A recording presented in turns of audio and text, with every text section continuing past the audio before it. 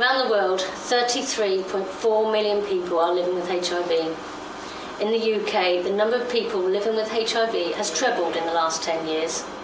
But also in the UK, more than 90,000 people are living with HIV, and yet with a vast amount of NHS and charity HIV testing incentives, over a quarter of people with HIV in the UK are still undiagnosed.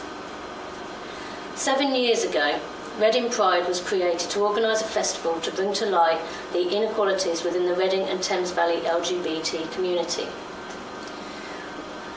We need all the support you can give us to make this work, not only to organise the festival, but your insights and experiences, and most importantly, to engage with our Safer Sex campaign and other ongoing community projects. Your views and visions will shape our future, but we need your help to make this all happen. So please, if you can spare any time, we are more than happy to have you on board. No one will be turned away. Without you, none of this is possible.